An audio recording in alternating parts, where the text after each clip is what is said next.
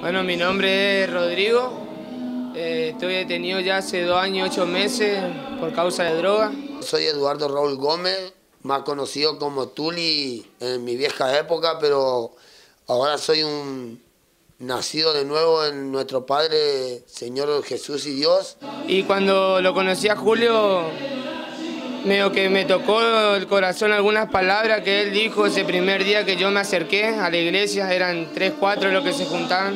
Empecé, primero empecé como todo, como todo preso, haciéndole la guerra, poniendo música, no queriéndome arrimar los cultos.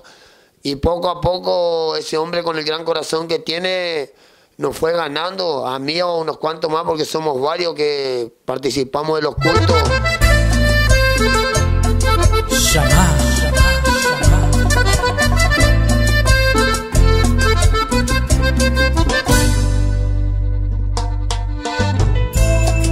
Yo quise demostrar que podía soportar, engañándome sin más.